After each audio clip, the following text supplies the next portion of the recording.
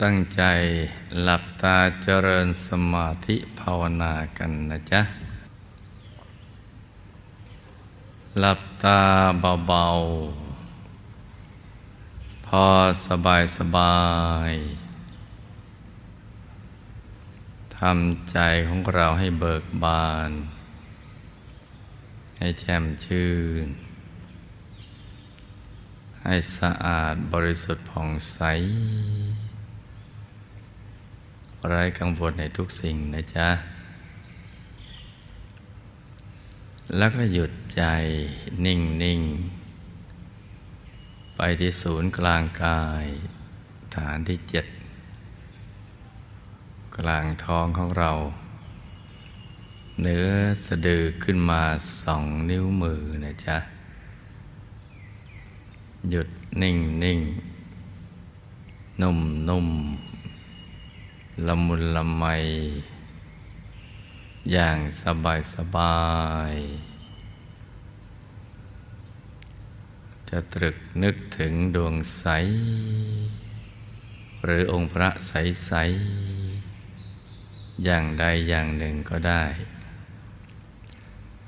หรือจะไม่นึกเป็นภาพโดยใจวางหยุดนิ่งเฉยๆายในกลางกายก็ได้นะจ๊ะ อย่างใดอย่างหนึ่ง ในสองอย่าง ที่จะเป็นภาพหรือไม่มีภาพก็ได้ทั้งสิ้น เพราะวัตถุประสงค์เราต้องการให้ใจนิ่ง นิ่งนุ่มละมุนละไม สบาย นี่คือวัตถุประสงค์ เราถนัดอย่างไหนเราก็เอาอย่างนั้นทำอย่างนั้นนะจ๊ะ นี่เป็นเรื่องที่สำคัญสำหรับชีวิตทีเดียว เมื่อชีวิตตัดสินกันที่บุญที่บาป ไม่ใช่เรื่องรวยหรือจนหล่อหรือสวยขี้เล สูงต่ำดำขาว ไม่ได้ตัดสินใจกันอย่างนั้น ตอนสุดท้ายของชีวิต ตัดสินกันที่ใสกระหม่องของใจ เพราะฉะนั้นเราก็ต้องทำให้บรรทุกหลักวิชา เพราะความรู้นี้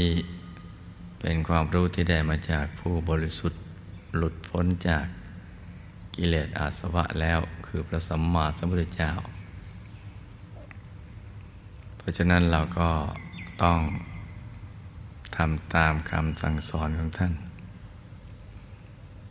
ใจหยุดนี่แหละ มันถึงจะบริสุทธิ์ ถึงจะใส สิ่งนี้ก็เป็นสิ่งที่เราต้องมันฝึกฝนอบรมใจของเรา ในทุกๆกิจกรรมที่เราทำไม่ว่าจะเรียนหนังสือ จะทำมาหากิน จะคลองเรือน หรือจะทำภารกิจอะไรก็ตามก็ทำไปเถอะ แต่ก็จะต้องฝึกใจให้มันหยุดให้มันนิ่ง ให้เข้าถึงพระรัตนตรัยในตัวของเราให้ได้ ชีวิตก็จะได้มีหลัก มีหลักของชีวิต ที่เราจะใช้ในการดำเนินชีวิตต่อไป จนกว่าจะหมดลมนั่นแหละ เมื่อเข้าถึงพระรัตนตรัยในตัวของเราได้ ใจก็จะมีความสุข จะมีป้อมมีค่ายเหมือนมีหลุมหลบภัยอะไรอยู่ในตัว เพราะว่าพื้นฐานชีวิตนั่นน่ะมันมีภัยทั้งสิ้น มีทุกข์มีภัย โดยรอบนั่นนะมีเรื่องที่จะทำให้เราไม่สบายใจได้ตลอดเวลา หรือทำให้เราพลาดพลั้งได้ตลอดเวลาเหมือนกัน เพราะฉะนั้นพระรัตนตรัยในตัวนี่แหละ จะเป็นหลักของชีวิตเป็นป้อมเป็นค่าย เป็นหลุมหลบภัยของเรา ให้เราได้มีความอบอุ่นใจ มั่นใจ ดังนั้นเนี่ยเราก็ต้องพยายามให้ความสำคัญ ต่อการปฏิบัติธรรม ต่อการฝึกใจให้มากๆนะลูกนะ ควบคู่กับชีวิตประจำวัน ที่เรามีกิจกรรมอะไรกันต่าง ๆ อย่างนั้นแหละ ข้างนอกเคลื่อนไหว แต่ข้างในต้องหยุดนิ่ง คือต้องให้เห็นองค์พระชัด ใสจ่มกระจ่างให้ได้ตลอดเวลา ไม่ว่าเราจะอยู่ตรงไหนทำอะไรก็ตาม จะหลับตาจะลืมตาหกคเมนตีลังกาอย่างไรเนะี่ยก็ต้องให้เห็นพระในตัว เห็นพระ ธรรมกายในตัว ที่ชัดใสจำเหมือนผู้มีบุญในการก่อน เช่นท่านอนาถบินิกาเศรษฐี และมหาอุบาสิกาวิสาขาเป็นต้น ที่ทำธุรกิจกับจิตใจ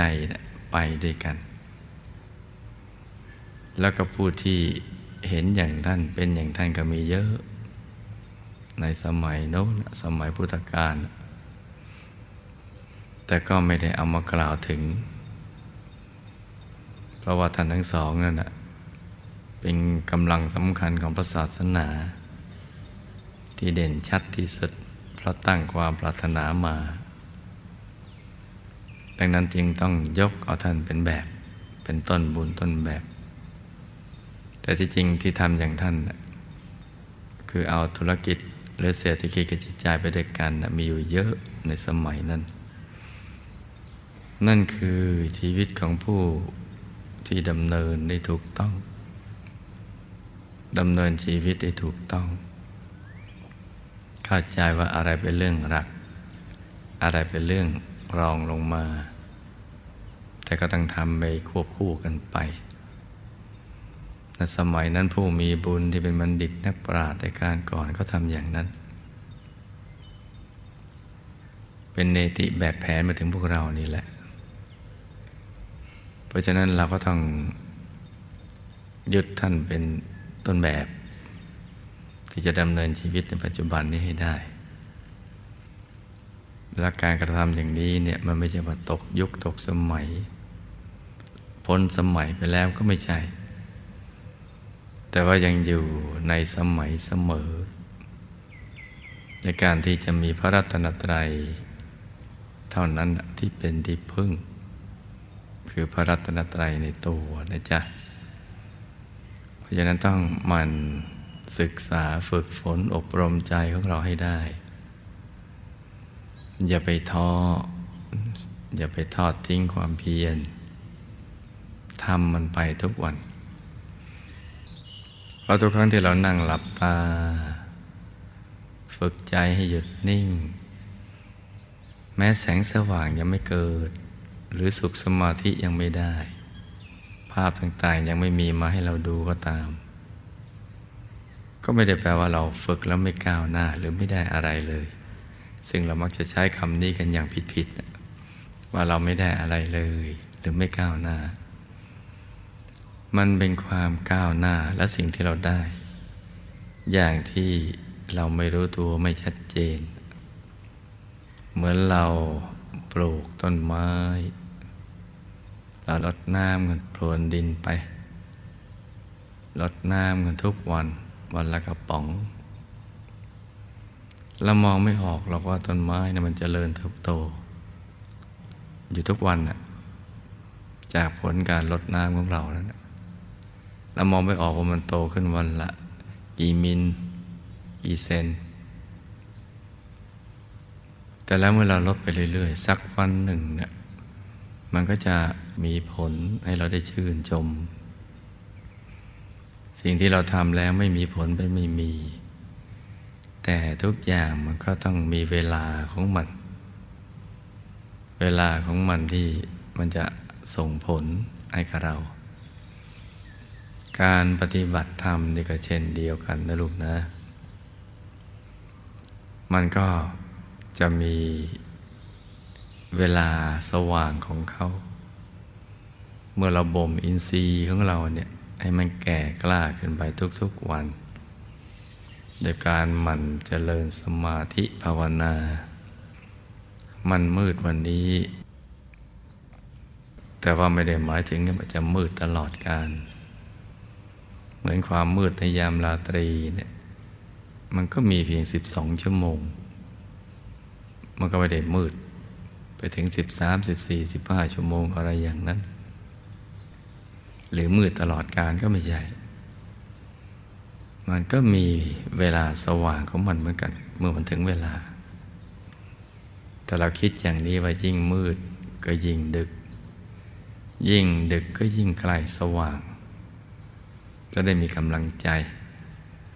แต่ตอนนี้ทำความเข้าใจก่อนว่า ไอ้ที่ว่าไม่มีผลหรือไม่ได้อะไรเลยนั่นน่ะไม่จริง สมาธิจะค่อย ๆ ก่อตัวขึ้น ทีละเล็กทีละน้อย อย่างที่เราไม่รู้สึกตัว นึกไม่ออก ไม่ชัดเจน แต่ว่าเมื่อถึงวันเวลาแล้ว มันก็ให้ได้ผล เป็นรางวัลสำหรับผู้ทำความเพียรคือใจมันก็จะค่อยๆโล่ง ค่อยๆโปร่ง ค่อยๆเบา สบาย ตัวก็จะขยายออกไปจนกระทั่งไร้น้ำหนักไร้ตัวตน ตกศูนย์ไป เดี๋ยวมันก็เป็นขั้นตอนของสมาธิ ตกศูนย์ดวงธรรมเกิด กายภายในเกิด เราตามเห็นกายภายในก็ไปเรื่อยๆเดี๋ยวก็เข้าถึงพระรัตนตรัยในตัวเองนั่นแหละ เพราะฉะนั้นเนี่ยให้นั่งไปเรื่อยๆ เหมือนเรานั่งรถไฟ ที่จะไปที่หมาย รถไฟเนี่ยนะเสียงมันก็บอกอยู่แล้ว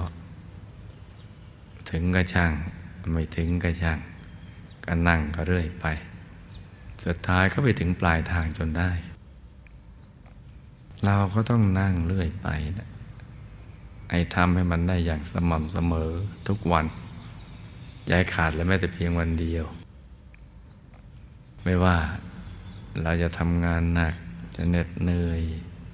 หรือนอนดึก ก่อนนอนเราก็ต้องนั่งธรรมะ หรือจัดสรรเวลาทำการบ้าน ที่มอบหมายเอาไว้ให้นั่นแหละ สิ่งนั้นก็จะค่อยๆสั่งสมไป สั่งสมบุญ สั่งสมบารมี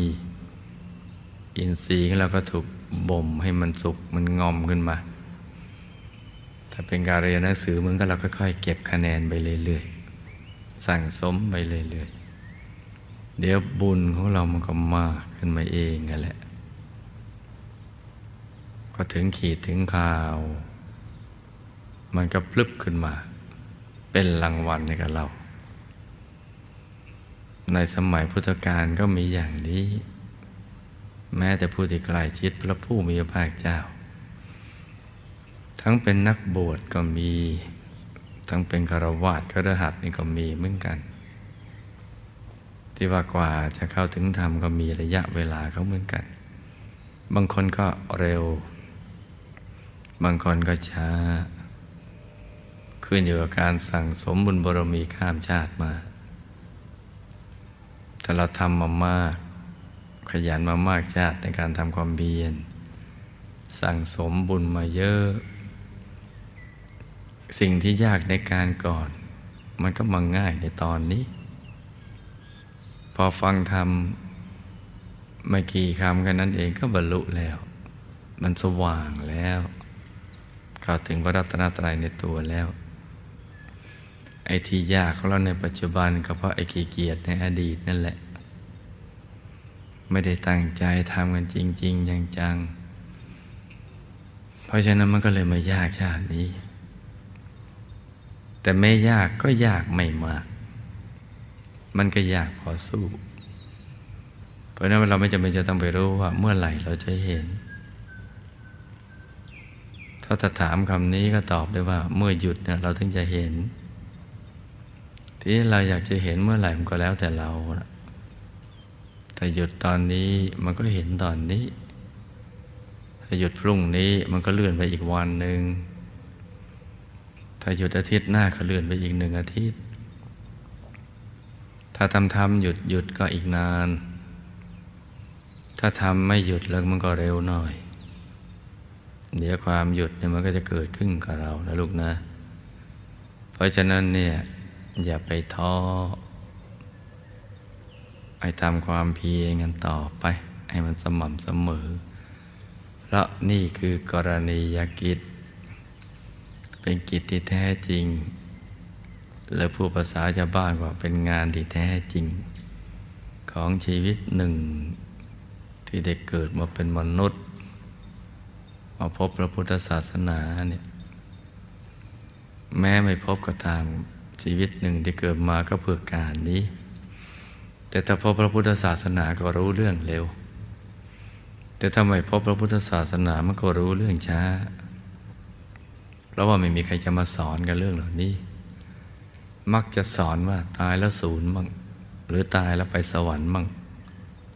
ถ้าเชื่ออย่างงั้นอย่างนี้ก็จะไปสวรรค์ แล้วก็เป็นสวรรค์ที่นิรันดรคล้ายๆนิพพานของเรานั่นแหละ แต่ความจริงชีวิตมันไม่ง่ายอย่างนั้น เพราะว่ายังมีกิเลสกันอยู่ เมื่อกิเลสมันมือไม่หมด อยู่ๆจู่ๆจะไปนิพพานจะไปสวรรค์นิรันดรเลยแล้วมันไม่ได้ มันต้องขจัดเชื้อแห่งการที่ทำให้เวียนว่ายแต่เกิด ให้มันหมดไปซะก่อน มันถึงจะไม่เกิดก็คือการทำพระนิพพานนี่แจ้งนั่นเองแหละหรือถ้าจะย่นระยะเวลาในการเกิด ก็ต้องทำพระรัตนตรัยนี่ให้มันแจ้ง ให้มันแจ่มแจ้ง คือท่านมีอยู่ในตัวเรานี่แหละ แต่ถูกความมืดมันบดบัง มืดด้วยนิวรณ์นั่นแหละ เป็นเครื่องกัน้นให้มันมืด เพราะนั้นเราจำง่ายๆว่า ถ้าจะให้สว่างก็ต้องหยุดก็ต้องนิ่ง ฝึกใจไปเรื่อยอย่างสบายสบายในความเบิกบาน สนุกสนานเหมือนคนที่เขาสนุกกับการทำงาน สนุกกับการเรียน สนุกกับการเล่น หรือสนุกกับการดูการละเล่น เพลิดเพลินในสิ่งที่ตัวชอบอะไรอย่างนั้น ต้องมีความสุขสนุกสนาน ต่อการเจริญภาวนา สิ่งที่ยากมันก็จะง่าย สิ่งที่ง่ายมันก็ง่ายมากเพิ่มขึ้นไปเรื่อย ๆ แหละ เป็นแสนง่ายล้านง่ายกันไปเมื่อไรใจเราติดที่ศูนย์กลางกายมันติดกาวอย่างดีเนี่ยติดไว้กับกลางกาย ความสว่างมันก็จะเจิดจ้า ยิ่งแต่ก็ถึงว่าธรรมกายพระรัตนตรัยในตัว มันก็จะยิ่งเจิดจ้าเพิ่มขึ้นมากไปเรื่อยๆ เพราะฉะนั้นอนิสงส์ของการปฏิบัติธรรมเนี่ยมันมีเยอะนะลูกนะ ดังนั้นอย่าไปขี้เกียจนั่ง อย่าไปท้อว่าเออวันนี้นั่งไม่ได้ผลเลิกซะเถอะ เอาไว้ขยันเมื่อไหร่ก็มา มานั่งต่อ เราจะมานั่งตามอารมณ์อย่างนี้นั้นมันไม่เหมาะ มันต้องให้มันเป็นกิจวัตร เมื่อเราอาบน้ำล้างหน้า แปลงฟันไม่ต้องมีใครมาเตือนเราไปถึงเวลาเราก็ทำกิจวัตรนั้น ภาวนาเนี่ยซึ่งเป็นกิจสำคัญยิ่งกว่าอันนั้นซะอีกยิ่งกว่าอาบน้ำล้างหน้าแปลงฟันนะเราก็จะต้องทำให้มันสม่ำเสมอ ให้มันติดเป็นนิสัย เป็นอัธยาศัย เป็นจริตอัธยาศัย จึงจะทำเป็นขันธสันดานนั่นแหละ มันติดกันเป็นอันหนึ่งอันเดียวกัน อย่าไปทำตามอารมณ์นะลูกนะ ต้องคุมอารมณ์ให้ได้ อย่าไปตามมัน ควบคุมมันให้ได้ แล้วเมื่อไหร่เราถึงจุดที่ความสว่างเกิด ตอนนั้นแหละเมื่อเราได้สุขของสมาธิที่เกิดขึ้น ความรู้สึกว่าทำตามอารมณ์นั้นเบื่อเบื่ออยากๆนั่นแหละ รือมีอารมณ์ก็นั่งไม่มีอารมณ์ก็ไม่นั่งมันก็จะหมดไป เราจะมีความสุขสนุกสนานกับการทำภาวนา และจากการที่เข้าถึงพระรัตนตรัยในตัวเนี่ยยังมีสิ่งที่เราจะต้องเรียนรู้กันอีกเยอะเลย เรียนรู้เกี่ยวกับเรื่องภพภูมิต่างๆ เรื่องภพภูมิสามสิบเอ็ดภูมินะ่ะการมาพบรูปภพ รูปภพนิพพานภพสามโลกันอะไรต่าง ๆ เหล่านั้น มันยังมีสิ่งที่ต้องเรียนรู้กันอีกเยอะ ซึ่งมันคุ้มกับการที่จะลงทุนปฏิบัติธรรม ฝึกใจให้หยุดให้นิ่ง ไม่มีวิชาใดหรือศาสตร์ใด ๆ ในโลก ที่จะทำให้เราแจ่มแจ้ง และหายสงสัย โดยพุทธศาสตร์มันไม่มีเลย คือศาสตร์แห่งความรู้ของท่านผู้รู้นั่นแหละอันนี้เท่านั้นแหละที่จะทำให้มันแจ่มแจ้ง ทั้งแจ่มทั้งแจ้ง ทั้งมีความสุข เป็นความรู้คู่ความสุข คู่คุณธรรม เพราะฉะนั้นต้องขยันนะลูกนะจะต้องไปเรียนรู้กันอีกเยอะเหมือนอย่างพระเดชพระคุณหลวงปู่ของเราท่านศึกษาท่านก็ มีความสุขในการเรียนรู้ทั้งวันทั้งคืนทีเดียววิญญาอาจารย์ของเราก็เหมือนกัน จะศึกษาจะเรียนรู้กัน ตลอด 24 นอนมันมีไปเรื่อย ๆ แหละ นี่คือสิ่งที่เราควรจะทุ่มเทชีวิตจิตใจให้มาก สิ่งใดที่คุ้มสิ่งนั้นจึงควร ควรกับการอุทิศตนสำหรับ ศึกษาเรียนรู้เพื่อการนี้ เมื่อความรู้ภายในเราสว่าง